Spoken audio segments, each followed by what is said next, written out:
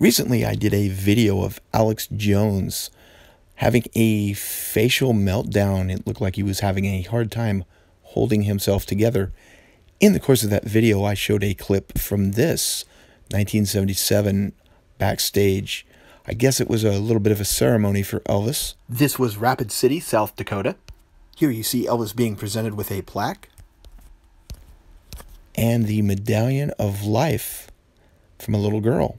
Her name is easy to find online, but I didn't want to put it out here on this video. It's a little bit weird to have your name associated with this, and she is still alive. And let me just say right up front, I do not believe she is a shapeshifter. Now, let's get into the weirdness. Uh, Elvis is about to accept the medallion of life from the little girl. He's going to lean in, give her a kiss. Everything seems pretty normal up until this point. You'll see some pictures here in a moment, but then about here, things get a little strange. So now we're going to go through a series of pictures where you see the little girl have a range of emotions, and then right about here, she sees something wrong as he pulls away. What does she see? Well, we're all about to see it for ourselves as he stands up and looks at the camera right here. What's weird is somehow the guy holding the microphone misses this part, but here very soon he's going to notice something that is amiss. I think that'll be right about here. And he looks a little disturbed. After seeing this, he quickly walks away and then acts like nothing ever happened. Look at his face. Yikes. You also see a couple of Elvis's men uh, seeing everything as it happens. One of them steps in front of the camera. The other man goes directly for the eye that was just melting. Here we go again in real time. See Elvis's guy step in front of the camera right here. Then the other guy goes right for the eye. He saw exactly what happened. That's the only way to explain him going right onto the eye. Now you start to see some other weirdness around Elvis's face. Uh, looks like he's getting holes around his eyes. Now, people will tell you, no, those were just dark circles under his eyes. You know, have you ever seen this phenomenon before? And also, look.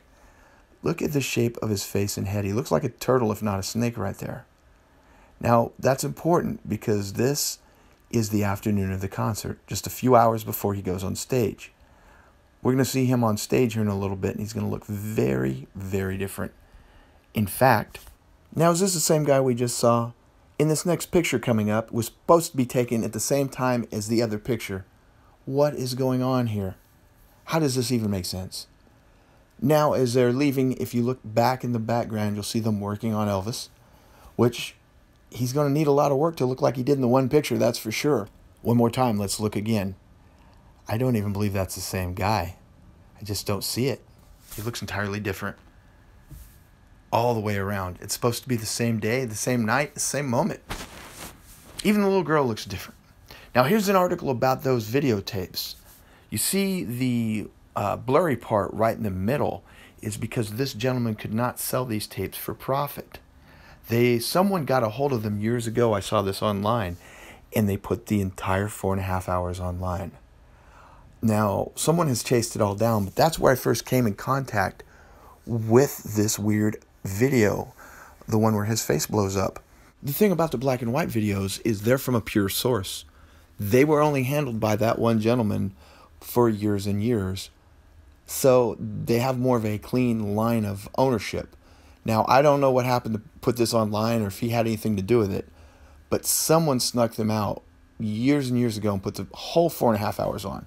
I watched it. I didn't record it, but I, I remember seeing this initial video where his head explodes, and I just didn't know what to make of it. And then I went back and it was gone. It disappeared. And now look how much better the quality is of this video suddenly from the one we had seen earlier there are cleaner and cleaner versions of this floating around. And there is a version of this where nothing, none of this happens. Yeah, bothersome. But there, right there in the color, it was still visible. I've had a lot of time since the first time I saw this video to come up with crazy reasons that maybe his face did do this, but it wasn't anything unusual. Maybe he had a mini stroke. Maybe it was a medical condition of some sort. I don't know. But what kind of medication did they give him that made his face structurally that different in that short a period of time? I don't know. And what was the deal with the guy going right for his eye after it looked like it blew out of his head? Like the dude saw it. Also, one other thing while I'm thinking about it, I'm not going to rewind this tape yet again, but before his guy steps in front of the camera, he has his back to the camera and Elvis is talking to him. And then after he blocks the camera shot for a second and Elvis talks to him, the guy turns back around. And it's obvious he's looking to see the camera position, but he's acting like he's looking at something else. I don't know. I would love there to be some easy answers here because this is infinitely bothersome to me. Right down to the fact that some people seem to notice this transformation, uh, then others don't. And as you continue to look at this, at different moments, he's equally like horrendously hideous in each video, but at different times. And I think I'm about to call it a day. I just saw something once again I've never noticed before in the black and white film. I don't know, you spend too long with something like this, it begins to get in your head.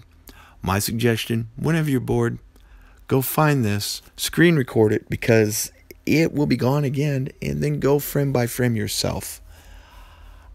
I don't know. Maybe this explains why Elvis was never wanting to go out in public.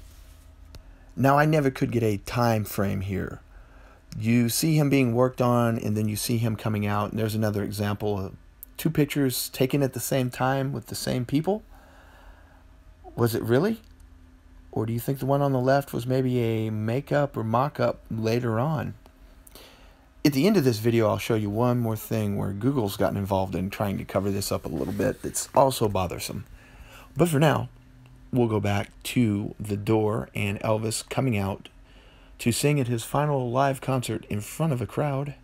Here he is. Now, he looks much better here too, doesn't he? Same show. This is South Dakota.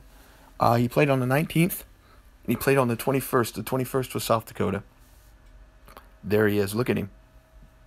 Is that the same guy from a while ago that looked like a turtle? And what is up with that? I don't know.